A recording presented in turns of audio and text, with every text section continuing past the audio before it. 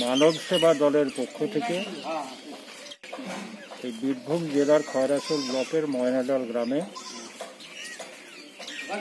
কিছু দুঃস্থ মানুষকে এই করোনার জন্য লকডাউনের জন্য যারা চরম অসুবিধার মধ্যে পড়ে আছেন, সেই সমস্ত মানুষজনকে সামান্য কিছু খাদ্যদ্রব্য তুলে দেওয়ার জন্য আজকে আমরা এই ময়নাডাল গ্রামে উপস্থিত হয়েছি।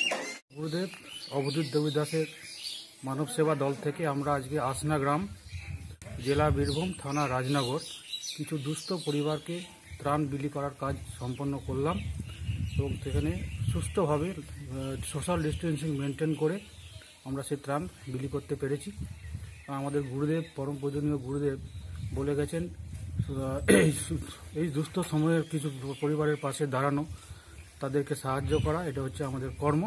এবং যতটুকু সম্ভব আমরা এই ত্রাণ নিয়ে তাদেরকে বিলি করতে সক্ষম হয়েছি।